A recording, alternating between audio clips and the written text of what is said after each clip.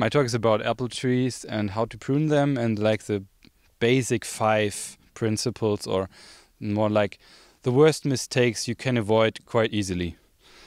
Um, first of all, an apple tree is not a nature product. It's a culture tree.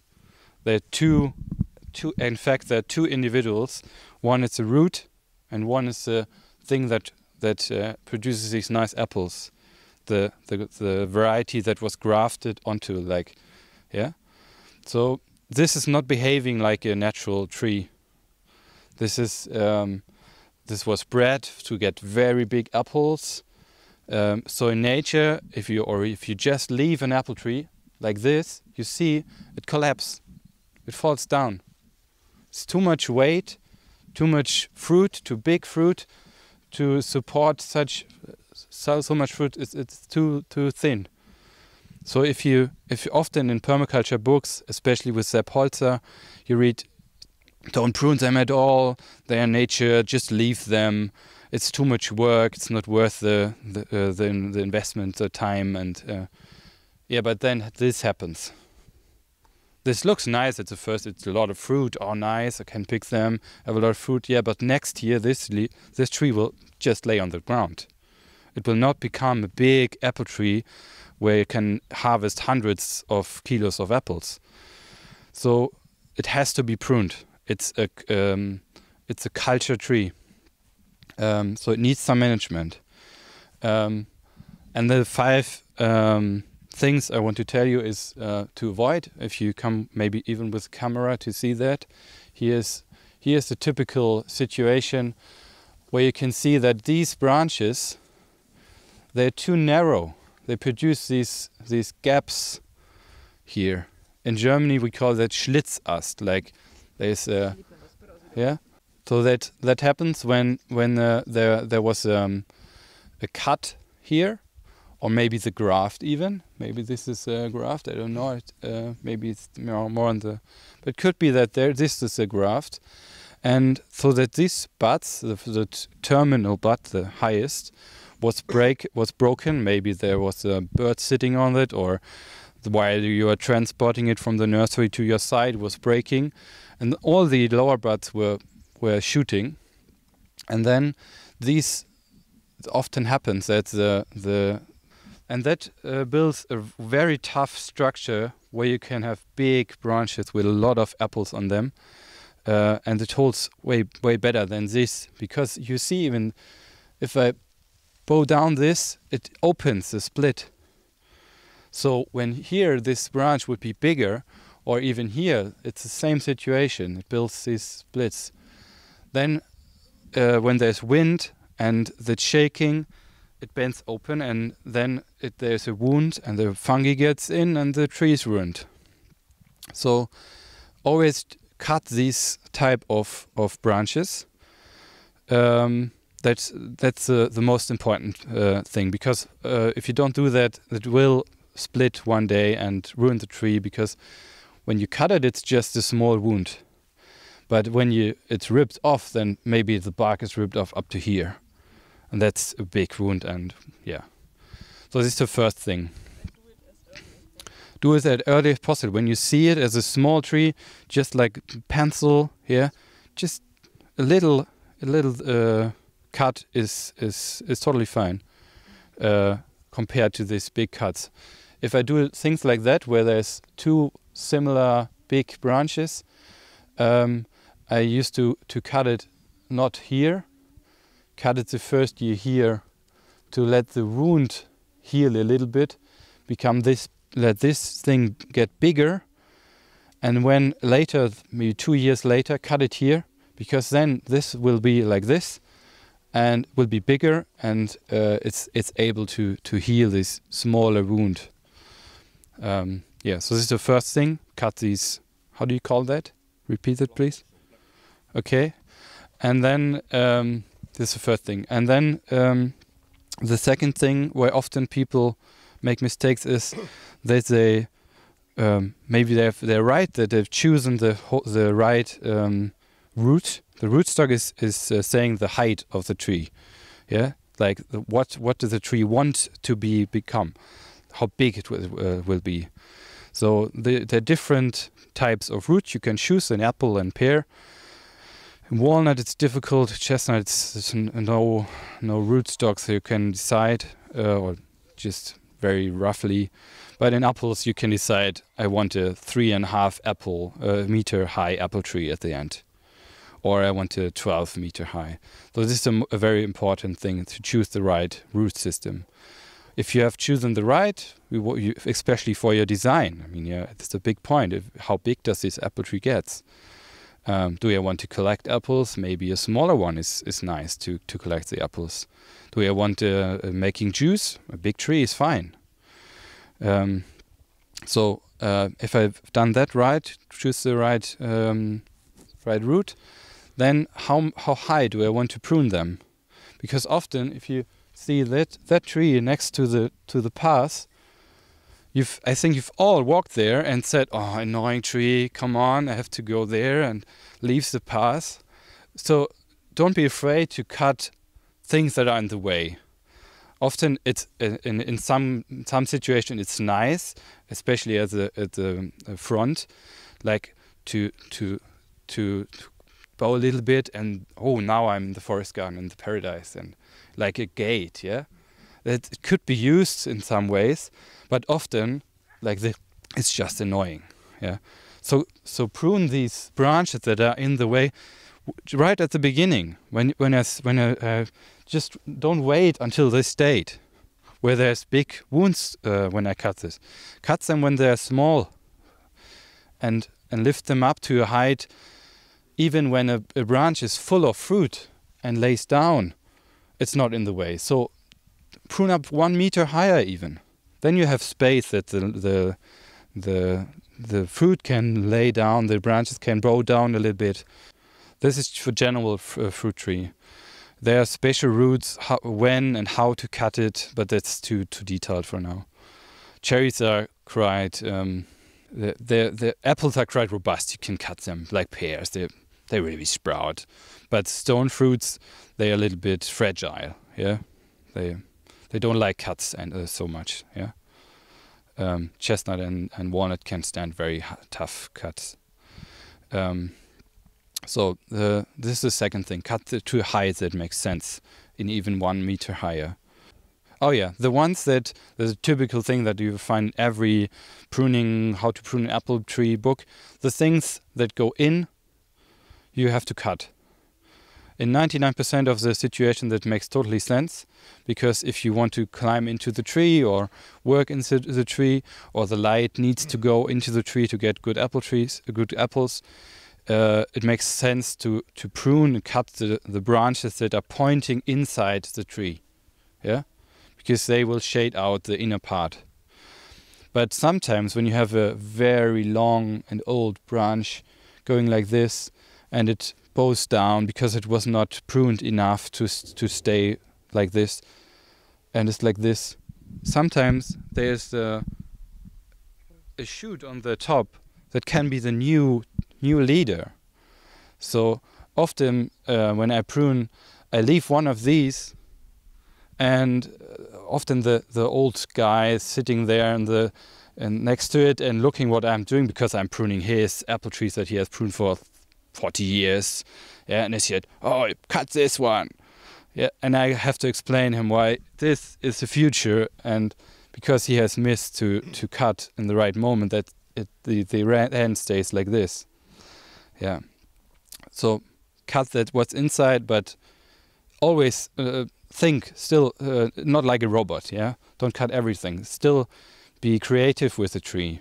Yeah, choose uh, if you have a situation like this there are two uh, similar, um, from the size, similar uh, branches. So which one of these is a leader? Which one is the future? Which, which, uh, which uh, branch will grow higher? Yeah, it could be, it could be this one, it's longer. But if you, if you raise it up like this, maybe it's the other one. So always when you have a situation where there are two, yeah, two competitive branches, you have to choose one and do that when you when you realize it not like oh I, I, I give it two more years to to to see what happens the cut gets bigger and bigger. The problem gets bigger and bigger. You lose the energy that can be can be used for the one that you decided. So choose one central leader that goes up, and it depends on the system that you are pruning. And pruning, you have four big branches, or three, or five, or no no other big branches, and it's it's more like a pyramid. But there's always one central leader. Yeah, that makes sense to to understand the tree, to to break down the complexity of branches, to know okay, this is a central leader. I will prune that up, and there are some side branches, but this is the main thing the, that I have to protect uh, against bowing down or against um, uh, breaking, and and this has to be like also the biggest branch because the the size of the branch said how much photosynthesis, how much leaf area it is supporting. Of course, there are thousands of systems, and every pruner has his own idea in, in the head of how a tree has to look like. But I think um, for most of the systems, and in my understanding, it makes absolutely sense to have one central leader in nearly all the fruit. But it's it's hard to say that because it's it's so complex. Yeah, yeah. That's there. There's for example in the medieval times in England they pruned with an open like like this. Yeah, with no central leader. The problem is that here's so much light in the middle that you will have shoots every year to try to fill that gap. If you have a central leader, the the amount of light is not that much that you provoke the tree to grow something there, because the tree has the the, the aim. It's like it's, it's still a forest tree. An apple is a climax forest tree in Kazakhstan, so uh, if the a tree falls down, a big one, all these small seedlings try to reach that gap. Yeah, they want to be the first there on the top because that's survival or not survival. Yeah, so they have the program to to fill that gap where there's light they want to grow. Yeah, and when there's too much light, you provoke shoots that you cut next year and cut next year, and so have a central leader makes sense to get to get the the tree the chance to do that, yeah, controlled in the system. Anschneiden, danke, Franzi. Um, um, you, if you, um, um, the, because the tree, the the apples are so uh, so heavy, um, the tree is not the wood is not able to hold it without our our help. So we have to the the the, the tree produce some shoots on the top maybe and if we leave it because we are happy, oh, the tree is growing so fast, uh, I don't want to cut it. It's it's uh, I like that it's so high and yeah. But then, uh, and I've tested that uh, uh, myself a lot because I was thinking, oh, yeah, I'm in this in this situation next to a road. I want to start with a crown, but I need one meter more. I don't cut it this year and then one pear in this example, one pear was hanging on the top, and the whole thing was whoop, yeah, was hanging like this when I come back. So always cut half of it or one third of it to to um, to to make it more tough. Yeah, that if there is an apple on it, it holds the apple or the pear, this big fruit that wants to, yeah, where gravity wants to to bow it down. So if there is a shoot, cut it, and if uh, all cut all the structures uh, that you want to keep. It's a, it makes no sense if you if you hear it the first time, but you have to cut a little bit back to be sure that it stays in this shape the next year. I cut the central leader because in this situation the the pear that I want to grow quite high and it was just this when I come back. So always cut the things that you want to keep tough that doesn't matter if it's a central leader or if it's a big side branch or whatever. Um, if you want to to keep an, an uh, a branch in the shape, you have to cut it back to to stabilize it. It will produce, if you cut a, a, a branch, the central bud on the top has a, a, genetic information to to be to get more more energy than the side. And if you cut it, there is no central leader. So every bud will try to be that central leader. So you will provoke a lot of shoots, but a lot of shoots mean means a lot of leaves. A lot of leaves means a lot of I want energy. This this this um, branches or the, the leaves are pumping and using the energy. So this branch will become bigger.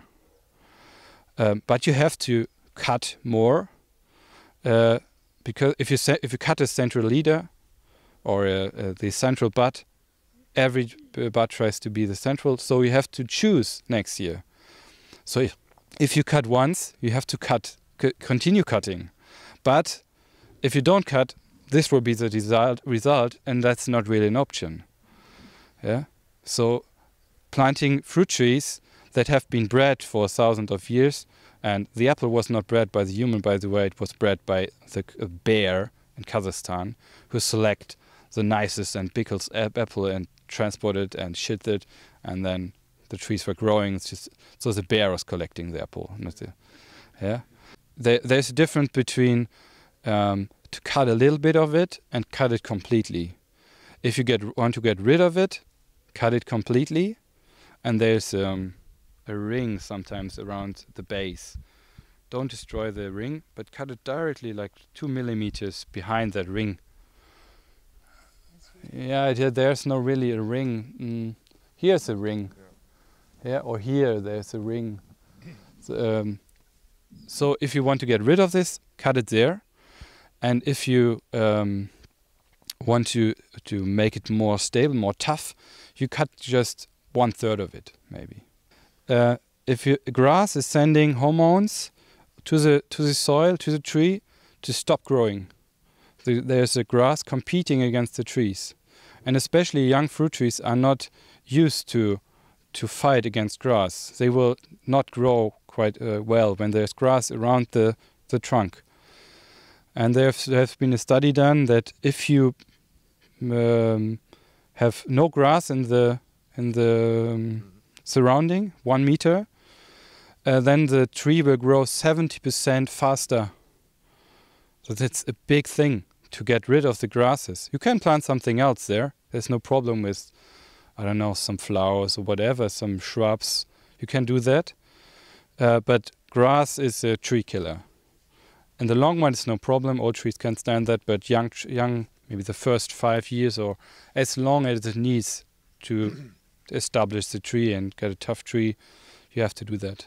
And even in old trees, when you see they, they stop growing, yeah, this it's the hormone. It's also the if you disturb the soil, you destroy the humus particles there, and you which is sounds bad, and it is in a way, but in this scale, it's not really a problem. And you, you feed the tree with the humus because the nitrogen is leaking into the roots and the tree can, can uh, use that. When there's too much shoots, too, too much nitrogen, the, the, the branches will get wobbly, yeah? Often when you buy commercial nursery uh, trees and they have just thrown so much nitrogen there that it's three meter shoots uh, it has no time to to get enough sun to produce the the um, the things that needed to get frost tolerant. So a branch needs sun to get frost tolerant. Yeah, when it's just shooting, shooting, shooting, and it's shooting still till till the frost because there's so much nitrogen. It's not frost tolerant. Will die back, and it's not a robust and tough structure. Yeah, the, the question was how to, uh, what's the period to to prune trees uh, or to prune apple trees. Um, it depends. It always depends. Like like maybe if learning the course, it always depends on the situation. Um, so when I have a very a tree like this, I only would would uh, cut in winter because this slows down. I don't see a good growth in this year. So all the energy was going into fruit. So the tree is is um, put his energy into fruit instead of growing. Is always find the balance, yeah, and um, I want to cut this in winter because then the energy is stored in the wood in the in the um, roots. So when I cut it in winter, it reacts with growth. When I cut it in winter, it reacts with slowing down. The, uh, when I cut it in summer, it reacts with uh, slowing down the growth and do more and put more energy into fruit. So when I have these, for example, uh, a tree that is very wild growing, three meters everywhere in the tree, and it's it's very uh, yeah, like I've I've cut too much, then I can prune that in in summer to make it more put it put it more energy into the to the fruit and slow down the the energy. There's a special angle where you cut bigger branches. Um, often it's uh, the tree shows you how where to cut when there is this ring, but for example here there is no ring. Uh, you cannot see a ring here, but it's it's a combination of um, cutting it, uh, making the smallest wound that possible. It would be like this. But then we have a, a spike here. When I cut it here, there would be a, a right angular corner. Yeah. And this end will not be supported from the tree because it's not in the on the way to the top. Yeah. So a, a combination of cutting it directly like on the on the trunk, that would be a big wound, and cutting it the smallest cut, a combination of that in the middle is uh, the compromise. Oh yeah, and if you have big wounds, you can put loam onto it. Never use this this plastic black thing that all the gardeners put there, because this is a perfect habitat for fungi. It's water underneath the black, it's heated up because of the black, and there's material that the fungi can eat. So it's perfect for destroying the tree. Put this black thing on it. And lehm, loam, is um, yeah, it, it breathes, but it holds the the water, and it's it um, it makes an atmosphere where the fungi don't like to to exist. Just when you have loam in your your area, just dig a hole, put some loam from there. Even even some dirt, if you if it's not loam, just put it on there, and wrap a, a piece of I don't know an old T-shirt or from your your um, old uh, uh, car thing like like like on a wound you would do on yourself. Yeah, this this thing, just just put it on that the loam stays there in place. And um, there were some tests done. Uh, with accidents where, where cars drive into trees and there were these big wounds next to the next to the road on the trees, yeah, and they've tested with um, like plastic uh, around it and the the black thing like this and leave it open.